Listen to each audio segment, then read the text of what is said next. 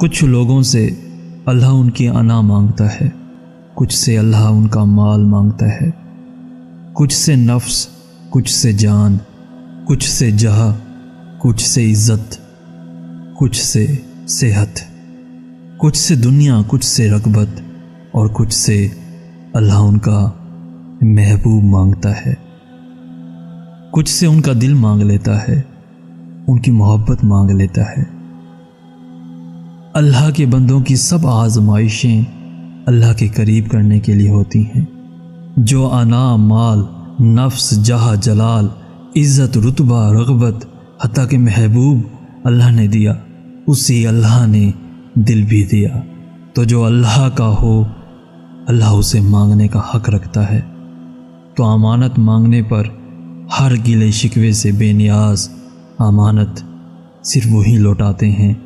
جو اللہ کے بندے ہوتے ہیں۔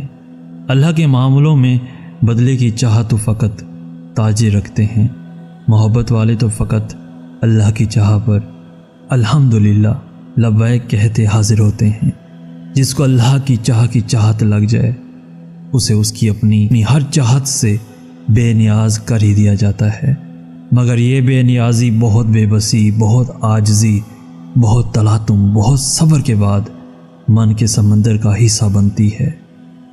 قربانی ہی تو قرب عطا کرتی ہے، ظرف عطا ہے اور سب کا ظرف آزمایا جاتا ہے اور سب کو ظرف عطا کیا جاتا ہے۔ قربانی کی توفیق بھی آتا ہے، اللہ کے کارخانہ قدرت میں سب آتا ہے۔ ہر آزمائش، ہجر، وصل، سزا، جزا سب آتا ہے۔